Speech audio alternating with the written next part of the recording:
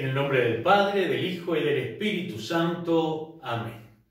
Que la gracia, el amor, la paz de parte de Dios nuestro Padre, de Jesucristo el Señor resucitado, esté ahora y siempre con cada uno de ustedes. Vamos a celebrar la Santa Misa del día martes de la, octava de Pascua. Y las intenciones para esta misa son por nuestra comunidad parroquial y por todas las personas que nos siguen a través de las redes, por el Papa, nuestros obispos, párrocos, por todos los sacerdotes, diáconos, religiosos y por las vocaciones, por todos los afectados por COVID-19 y por todos los agentes pastorales de nuestra comunidad. A San Miguel Arcángel por todos los sacerdotes miembros de la AIE y sus auxiliares y por todos los asistidos desde el Ministerio de la Consolación en acción de gracias y súplicas, al Sagrado Corazón de Jesús, a Jesús de la Divina Misericordia, Sagrada Familia, María Auxiliadora, San Expedito, Santo Padre Pío, San, eh, el Beato Seferino Namuncurá, por la salud física y espiritual de Jorge, Verónica, Ana, Andrés, Ignacio, Micaela, Eduardo, Agustina, Agustín, Nicolás, Santiago Quiroga, Mirta Tangredi, Pochita Costarelli y familia, Angelito Cabrera y familia, Nora Soraco y familia, Laura Nené Fernanda y familia, Candelaria Olmos, Victoria y, eh, Victoria y Carla y sus bebés en gestación, Sebastián, Vicky, Lautaro y Tati Delfina, Gabriel, Mingo, Tere y toda su familia, por las mellicitas que están en Neo, por eh, Pochi, Juani, Oscar y por la familia Gil Daciano. En acción de gracias por el cumpleaños de 18 de Franco. Franco que va a zafar de que lo pelen, salvo que se lo hagan en casa, eh, cumpliendo 18 años. Y por nuestros hermanos fallecidos, Irma, Joaquina, Mateo, Jorge Soraco, Norge y Gracielita, Delia y Alberto, Alberto Sáenz López y familiares difuntos, Carmen de Sáiz y familiares difuntos, Elin Williams, Olga, Teresa, Ida y Augusto, Atilio, Aladino Zúñiga, Olga, Aldo, Elisa y Miguel, Stella Maris Palmada los fallecidos por el COVID-19 y las almas del purgatorio. Queridos hermanos, vamos a comenzar esta Eucaristía pidiéndole al Señor que su luz resucitada y resucitadora ilumine lo más íntimo de nuestro corazón para que juntos podamos pedir perdón.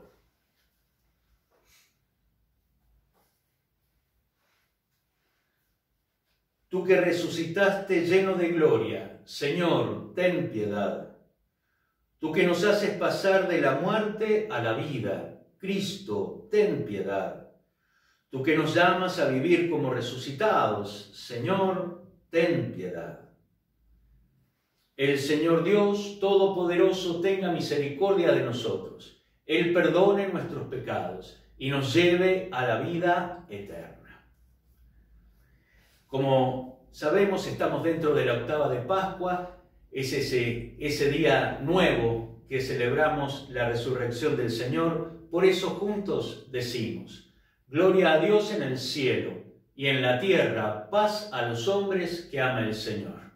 Por tu inmensa gloria te alabamos, te bendecimos, te adoramos y te glorificamos. Te damos gracias, Señor Dios, Rey Celestial, Dios Padre Todopoderoso, Señor, Hijo único Jesucristo, Señor Dios, Cordero de Dios, Hijo del Padre, Tú que quitas el pecado del mundo, ten piedad de nosotros. Tú que quitas el pecado del mundo, atiende nuestras súplicas. Tú que estás sentado a la derecha del Padre, ten piedad de nosotros, porque solo tú eres santo, solo tú, Señor, solo tú, Altísimo Jesucristo, con el Espíritu Santo, en la gloria de Dios Padre. Amén. Oremos. Recordemos que este es el momento de la misa para pedir, y a Dios hay que pedirle porque es Dios. Pidamos por nuestras necesidades, las de nuestras familias, amigos, las necesidades del mundo entero. Dios nuestro, que nos renuevas por medio de la celebración pascual, te pedimos que acompañes a tu pueblo con los dones celestiales, para que alcanzando la perfecta libertad, goce plenamente del cielo. Por Jesucristo, tu Hijo, que vive y reina contigo en la unidad del Espíritu Santo y es Dios, por los siglos de los siglos. Compartimos ahora la liturgia de la palabra.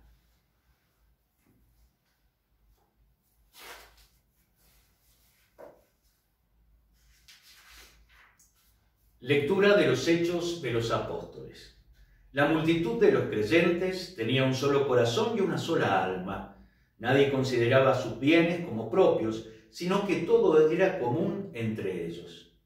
Los apóstoles daban testimonio con mucho poder de la resurrección de Jesús y gozaban de gran estima.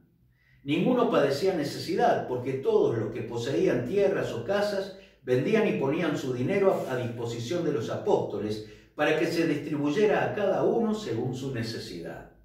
Y así José, llamado por los apóstoles Bernabé, que quiere decir hijo del consuelo, un levita nacido en Chipre que poseía un campo, lo vendió y puso el dinero a disposición de los apóstoles.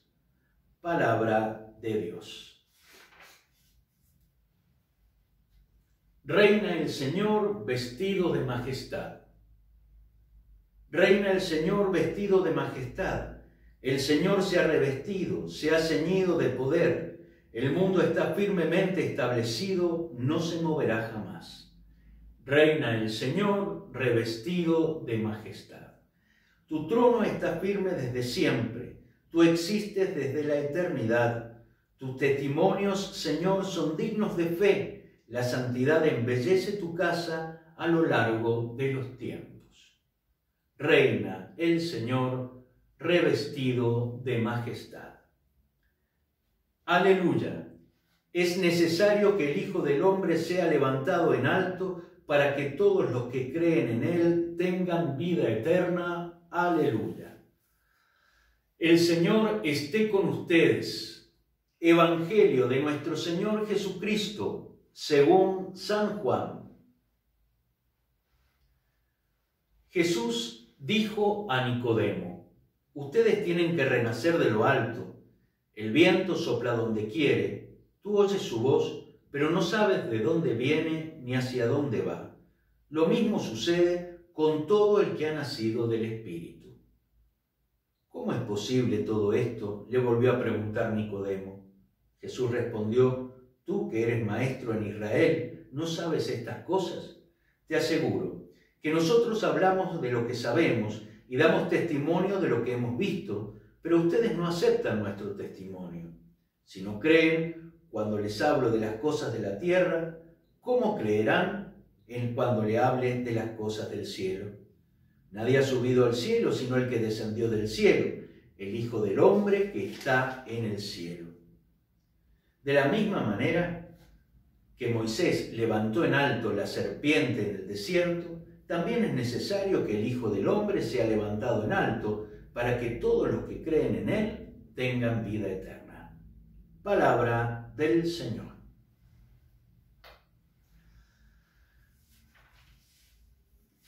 Como hemos venido adelantando, durante todo el tiempo pascual se reemplazan las lecturas del Antiguo Testamento por las, la primera de las lecturas por eh, la, semicontinuidad del libro de los Hechos de los Apóstoles. Y en esta oportunidad, este libro de los Hechos de los Apóstoles, que nos cuentan cómo se va gestando la primera iglesia, cómo se va haciendo la iglesia. Y aquí es este texto breve que hemos compartido, cómo nos puede llenar de, de alegría y de esperanza, porque sin duda que Cristo el Señor fue el que inició su iglesia, pero necesitaba también que fuéramos nosotros, cada uno de nosotros a lo largo de los tiempos, los que la fuéramos acrecentando, los que la fuéramos sosteniendo y los que la fuéramos animando. Y así se ve en esta primera comunidad de creyentes. Fíjense, dice, todos tenían un solo corazón y una sola alma, y nadie consideraba los bienes como propios. Todos tenían un, solo corazón y una sola alma. Qué hermoso esto. Todos tener un mismo corazón, una misma alma. Y nadie considerar sus bienes como propios. Sin duda, aquí también se hablaba de, de los bienes de las posesiones materiales, pero esto de no considerar lo que yo puedo ser como solamente como propio, sino lo que yo puedo ser, mis dones, mis talentos, mis capacidades, puestas al servicio, ahí es que esos dones, esas capacidades, también lo económico, pero no, no, no, no es lo esencial, sino cómo solamente se puede gestar iglesia si nosotros ponemos cada uno algo de nosotros. ¿Cómo podemos nosotros pensar que o no tenemos nada para dar o no tenemos quizá mucho para recibir? ¿Quién puede ser? ¿Quién puede pensar que es tan pobre que no tenga nada para ofrecer? algo de su tiempo, de su talento, de su oración, o tan rico que no necesite recibir nada. El vivir en un mismo corazón y una misma alma, considerando los bienes como de todos, es una gracia de ser comunidad. Esta persona que sabe hacer esto bien, lo pone al servicio y nos sirve a todos esta otra persona que conoce de esto y no necesariamente tiene que conocer todo, sino esto, o sabe esto, o puede ofrecer esto, lo hace por el bien de todos. Desde el comienzo, la iglesia se gestó hacia afuera. Nada, nada hacia adentro, siempre hacia afuera, siempre sacando de sí para el crecimiento de todos. Y hoy que vivimos estas dificultades, vamos también nosotros advirtiendo que como pequeños gestos nuestros pueden servir y hacer bien a los demás. Puede servir y hacer bien a los demás que yo me quede en casa, no solamente para que no me contagien, sino para evitar que otro pueda contagiarse quizá y yo no tener síntomas. Mi oración por los otros el elevar un poquito la mirada a las cosas de lo alto, pidiéndole al Señor, no solamente por cada uno y cada familia, que es importante hacerlo, sino por todos. Ofrecer algo de lo mío es que eso mío se multiplique. Fíjense ustedes que el Señor es perfecto, pero en, en lo que se refiere a matemática parece que tuviera eh, cierta dificultad, porque mientras más da, más tiene. Mientras más ofrece, más hay en el granero del corazón. Mientras más se distribuye, más acopiamos en nuestra vida. Nuestros talentos, nuestro tiempo, nuestras capacidades y aún nuestra economía. El Señor siempre, siempre provee y devuelve, siempre. Entonces, pidámosle al Señor un poco rescatar este sentimiento de las primeras comunidades. Todos sabemos que en las relaciones humanas hay problemas y los vamos a ir viendo también en la, en la primera iglesia, porque siempre aparece algo. Somos tan imperfectos, pero queremos esa caminar en, en la perfección que el Señor ofrece para el corazón somos, nunca seremos perfectos, pero sí siempre somos perfectibles, mejorables, convertibles. Aprovechemos lo que el Señor nos da para poder crecer en, en nuestra capacidad de ofrecimiento. La iglesia, primera iglesia, siempre fue así. Un mismo corazón, una misma alma, con dificultades, pero buscando que ese corazón y esa alma esté solo llena de una luz, la del resucitado.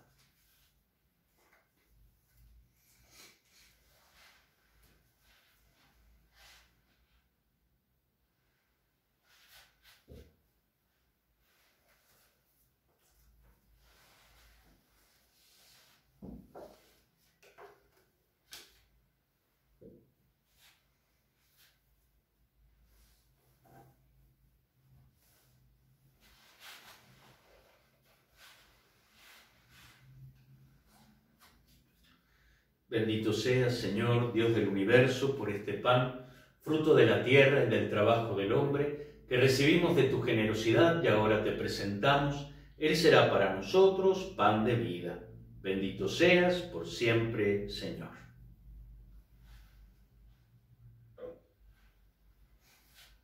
El vino junto con el agua sean para nosotros signos de la participación en la vida divina de aquel que quiso compartir con nosotros nuestra humanidad.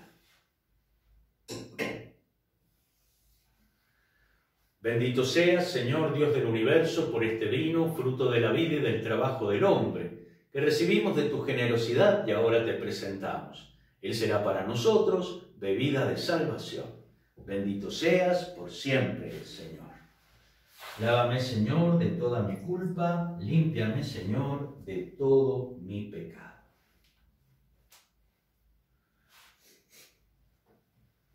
Oremos, hermanos, para que este sacrificio que es mío y también de ustedes sea agradable a Dios, Padre Todopoderoso. Señor Dios nuestro, recibe con misericordia la ofrenda de tu familia para que bajo tu protección no pierda los dones recibidos y alcance los eternos. Por Jesucristo nuestro Señor. El Señor esté con ustedes. Levantemos el corazón. Demos gracias al Señor nuestro Dios. En verdad es justo y necesario, es nuestro deber y salvación, glorificarte siempre, Señor, pero más que nunca en este día en que Cristo, nuestra Pascua, ha sido inmolado. Porque Él es el verdadero Cordero que quitó el pecado del mundo, muriendo destruyó nuestra muerte y resucitando restauró nuestra vida. Por eso con esta efusión del gozo pascual, el mundo entero está llamado a la alegría y junto a los ángeles y a los santos, nosotros también proclamamos un himno a tu gloria. Santo, santo, santo, es el Señor Dios del universo. Llenos están el cielo y la tierra de tu gloria. Osana en el cielo. Bendito el que viene en nombre del Señor. Osana en el cielo. Santo eres en verdad, Señor, fuente de toda santidad por eso te pedimos que santifiques estos dones con la efusión de tu Espíritu, de manera que se conviertan para nosotros en el cuerpo y la sangre de Jesucristo, Señor nuestro. Él mismo, cuando iba a ser entregado a su pasión voluntariamente aceptada, tomó pan, te dio gracias, lo partió y lo dio a sus amigos diciendo, tomen y coman todos de él, porque esto es mi cuerpo que será entregado por ustedes.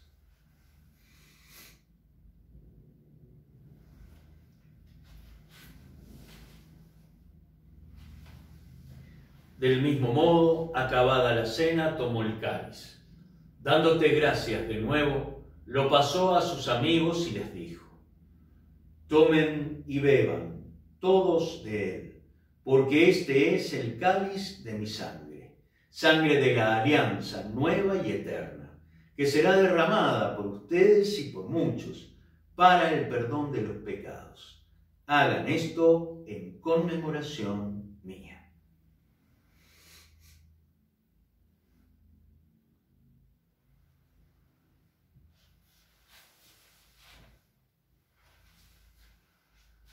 Este es el misterio de la fe.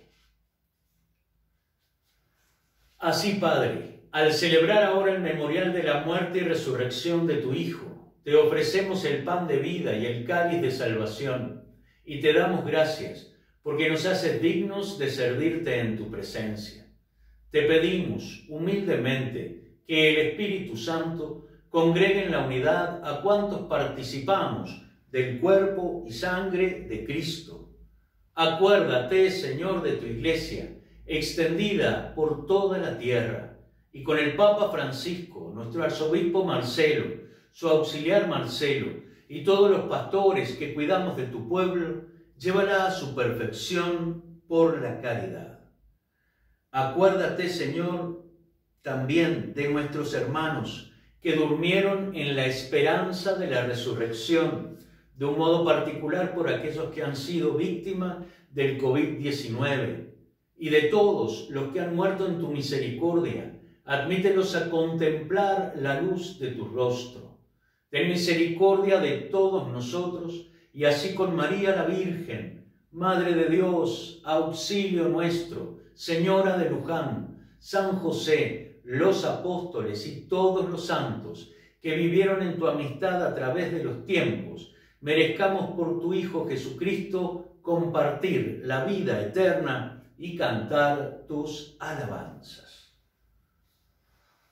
por Cristo, con Él y en Él. A ti, Dios, Padre Omnipotente, en la unidad del Espíritu Santo, todo honor y toda gloria por los siglos de los siglos.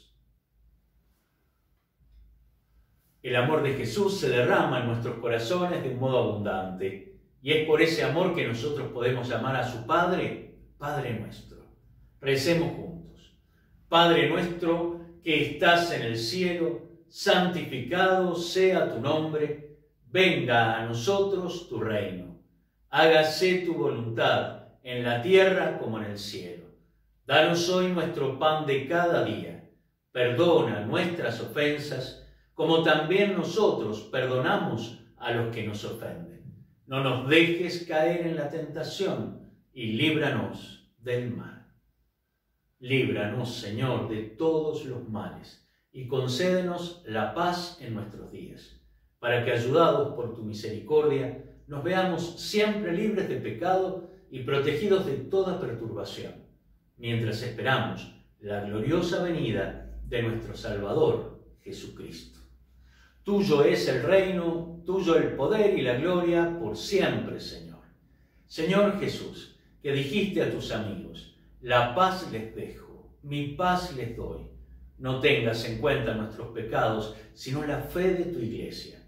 Y conforme a tu palabra, concédenos paz y unidad, tú que vives y reinas por los siglos de los siglos. La paz del Señor permanezca siempre con cada uno de ustedes y entre en cada uno de sus hogares.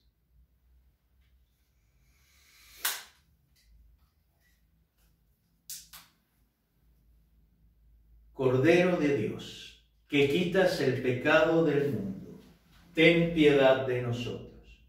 Cordero de Dios, que quitas el pecado del mundo, ten piedad de nosotros. Cordero de Dios, que quitas el pecado del mundo, danos la paz. Queridos amigos, este es Jesús, es el Cordero de Dios, el que quita el pecado del mundo. Felices los invitados a la cena del Señor. Señor, no soy digno de que entres en mi casa, pero una palabra tuya bastará para sanar.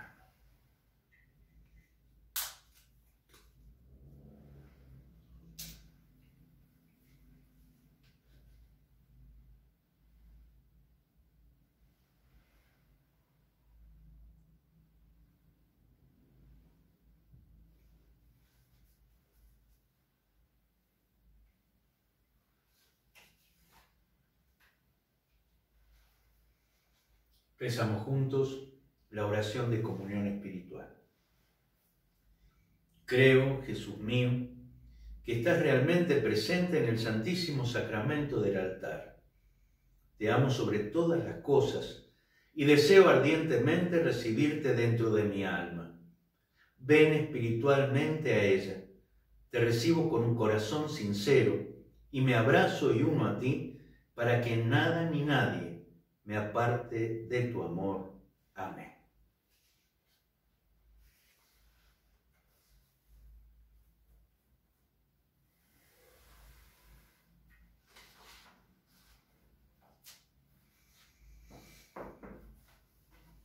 Oremos.